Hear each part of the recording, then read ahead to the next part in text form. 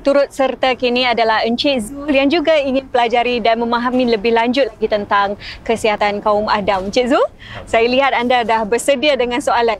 Ya, sebenarnya saya telah memilih soalan secara rambang dan uh, ini daripada penduduk-penduduk lah. Eh. Hmm. Um, satu ni pertama uh, beliau uh, uh, menanyakan bagi lelaki yang pernah mempunyai beberapa pasangan seks sebelum ini, uh, jenis jangkitan apakah yang terdedah pada golongan berikut? Uh, adakah ada vaksin ataupun pilihan um, rawatan yang sedia ada ni untuk golongan hmm. sebeginilah? Hmm. Mungkin Dr. Taufik boleh uh, berikan penjelasan pasal sekarang ni semua orang prihatin lah dengan hmm. kondisi uh, kesihatan sendiri hmm. kerana ada vaccination tentang COVID-19 ni jadi uh, kalau boleh uh, tolong uh, berikan pencerahan sedikit lah. Silakan. Okay.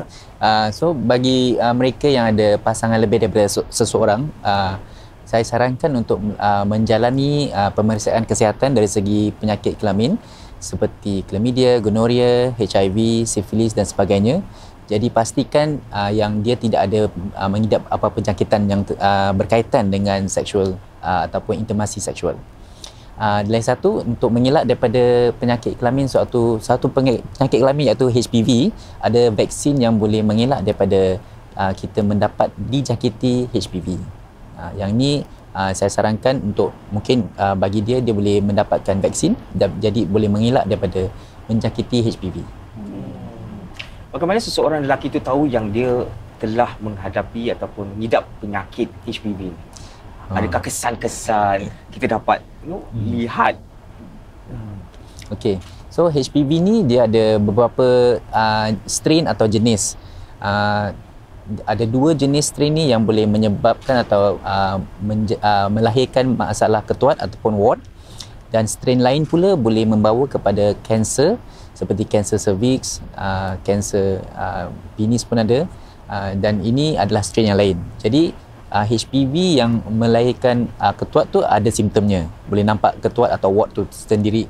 Tapi uh, HPV yang boleh menyebabkan kanser dia tak ada tanda-tanda. Hmm. Uh, kira waktu tumbuhannya di di tempat kelamin ni? Biasanya di tempat kelamin dia. Ah. Baik. Adakah uh, ini boleh um, uh, berpunca untuk kematian atau kemaut? Uh, kalau ia membawa kepada kanser, ia boleh membawa kepada, kepada maut seperti kanser cervix.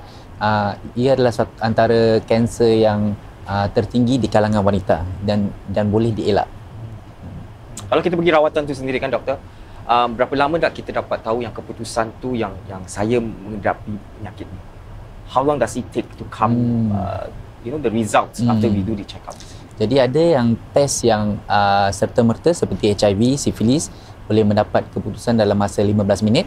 Ada pula makan masa dalam satu hari hmm. uh, hingga lima hari untuk mendapatkan keputusan. Hmm. Selepas Contohnya, kita dapat keputusan tu apa hmm langkah seterusnya. Ah, langkah seterusnya. ah, kalau semua normal ah, tak ada apa-apa lah. Just ah, make sure ah, ah, apa, be safe ah, yeah. ataupun just be satu satu partner je. Ah, then kalau ada masalah, ah, then boleh mendapat rawatan yang tertentu. Jadi kalau kalau kalau dia dah tahu yang dia ada masalah tu sini, ah, dia sepatutnya ah, berhenti kan ber, berintimate dengan isterinya. Hmm.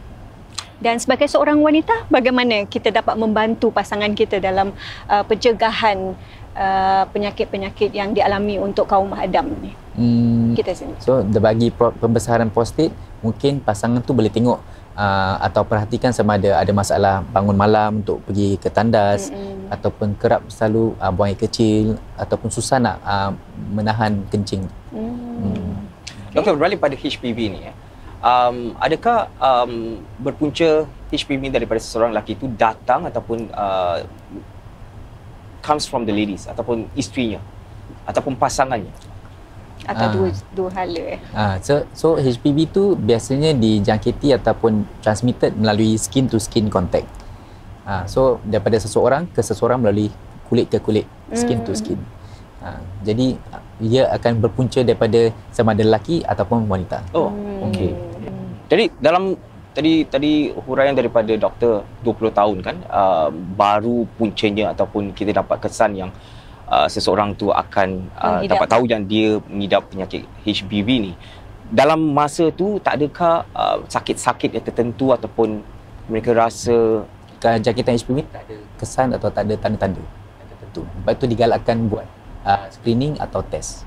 Jadi kalau seseorang tu tahu yang beliau dijangkiti HPV ni, um, beliau harus uh, hentikan segala uh, pergaulan intim dengan dengan uh, isterinya. Betul kan? Hmm, you mean untuk yang laki-laki tu? Ya. Okey.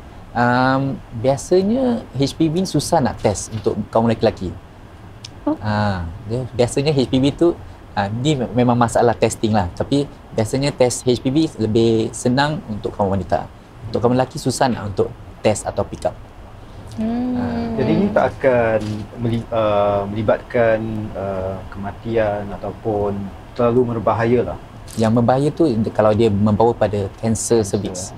Jadi galakkan screening and also vaccination lah. Vaccination untuk elak daripada HPV. So basically um, that the, the the person itself needs to to see that is anything appears Baru kita tahu kalau ada uh, ah. kita perlu berjumpa dengan seorang doktor. Ah, tak physically seen, tak ada. visually You cannot see. Tak ada simptom. Ah. So yang yang apa jenis yang boleh membawa kepada cancer cervix dia tak ada simptom. Jenis yang membawa kepada ketuat tu ah baru ada simptom. Tapi dia Hmm. jenis yang berbeza, strain yang berbeza. Ah, Hmm. baik. So screening dan vaccination. Ni yang digalakkan lah. Hmm. Bagus Hmm. eh. Kalau tak ada salah faham, ada Hmm. perselisihan faham eh antara uh, Pasangan, suami eh? pasangan eh. Hmm. Jadi dapatlah uh, maklumat daripada uh, doktor yang tertentu lah eh. Hmm. Doktor, kalau seseorang tu kan um, selalu uh, ketandas Hmm. dua hingga tiga kali setiap malam, Hmm. um, adakah tu normal? Okey. So tu uh, soalan yang bagus Ya. sebab ada yang uh, uh, berpendapat uh, tu kirakan bila dah berumur ni oh biasalah berumur ni pergi, pergi toilet tu biasa. Tapi sebenarnya tak sebab uh, kalau bagi kaum lelaki yang uh, kita biasanya kita tak sepatutnya bangun sebab uh, kita boleh uh, mengawal kencing kita sampai pagi Oh. biasanya. Kalau mungkin sekali-sekala terbangun sebab mungkin minum banyak sangat tu tak apa. Sekali tak apa. Kalau dua hingga tiga kali itu adalah masalah. Hmm. Uh, so kita kena uh, check sama ada uh, seseorang tu ada masalah prostat ataupun pembesaran prostat. Uh, jadi perlu jumpa doktor uh, untuk diperiksa, untuk uh, cek darah dan mungkin scan kalau perlu uh, untuk confirm ataupun pastikan sama ada ada masalah prostat. Wah, kita dari topik disfungsi ereksi ke pembasaran uh, prostat ke uh, masalah HPV banyak juga yang kita uh, nak ketengahkan isu-isu kaum Adam hari, eh uh, kaum Adam hari ini. Jadi, kita sentuh lagi ni, ni kita sentuh pasal prostat pula kan? Hmm. Uh, adakah benar bahawa melakukan hubungan seks uh, dua kali seminggu um, menjaga kesihatan prostat lelaki tu? Hmm, okey. So, ada ada kajian yang me- menunjuk uh, menunjukkan bahawa uh, seks ataupun ejakulasi yang lebih kerap boleh uh, mengurangkan risiko kanser prostat. Uh, ada kajian uh, di Australia dan di UK ada yang mengatakan dalam satu bulan 21 kali. Ada yang menyarankan satu minggu tujuh kali. Tapi Seminggu tujuh kali. tapi macam banyak lah kan. Hari-hari lah tu. Hari-hari lah. tak kira malam Jumaat every night. Okay, so Hmm. tapi sebenarnya uh, uh, ada kajian ni mungkin uh, ada ada pula kajian menunjukkan tak ada beza. Jadi uh, ad- ada kajian yang menunjukkan ya dan ada yang tidak. Jadi dia punya evidence ataupun uh, bukti dia kurang kuat lah. Hmm. Uh, cuma of course digalakkan to have uh, regular uh, uh, sex for untuk kesihatan mental, kesihatan fizikal dan sebagainya. Macam dua kali seminggu tu kirakan okey lah dua hingga tiga kali. Tapi um, minta maaf, I I I, I uh, kecil ni kan warnanya adakah Hmm. itu um, you, you know reflex ataupun tanda-tanda side Oh, effect? tak. Warna tu tak ada kaitan dengan ada jaketan ataupun ada darah ataupun ada uh, stone, batu Hmm. karang dan sebagainya lah. Tapi tak berkaitan. Uh, dan biasanya kita sarankan uh, health screening uh, atau pemeriksaan kes- kesihatan bagi uh, lelaki-lelaki yang 40 tahun ke atas.